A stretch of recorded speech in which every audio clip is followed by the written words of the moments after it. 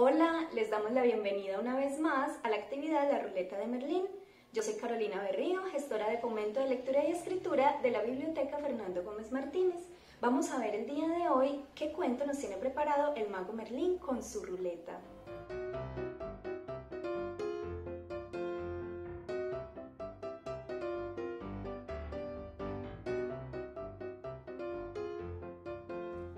Gato asustadizo y Boo, Michael. Muy bien, el día de hoy vamos a leer Gato asustadizo y Boo, escrito e ilustrado por Michael Broad, de Editorial Panamericana.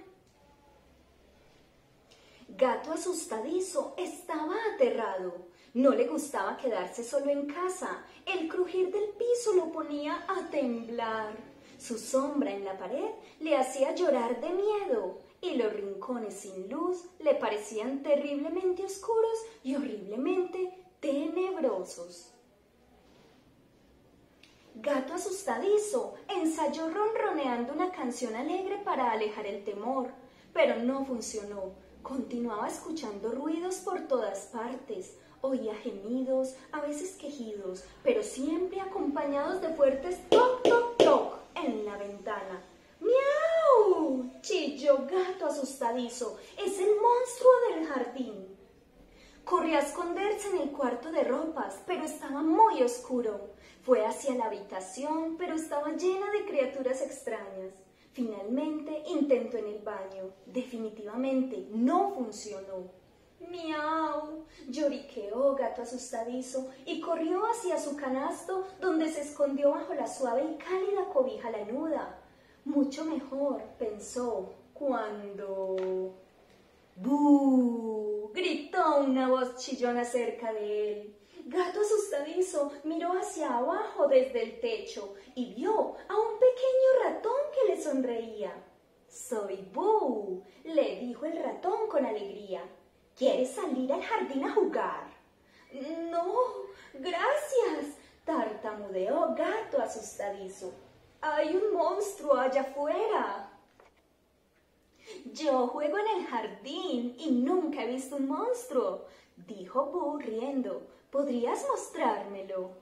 Castañeando sus dientes, Gato asustadizo llevó a Boo al sitio donde estaba la sombra del monstruo. Gemía y se quejaba y golpeaba toc, toc, toc en la ventana. Ese no es un monstruo, sonrió Boo, levantando la portezuela y corriendo hacia el jardín. Es un árbol bajo el cual te puedes sentar cuando hace mucho calor. También lo puedes escalar. Los árboles son maravillosos.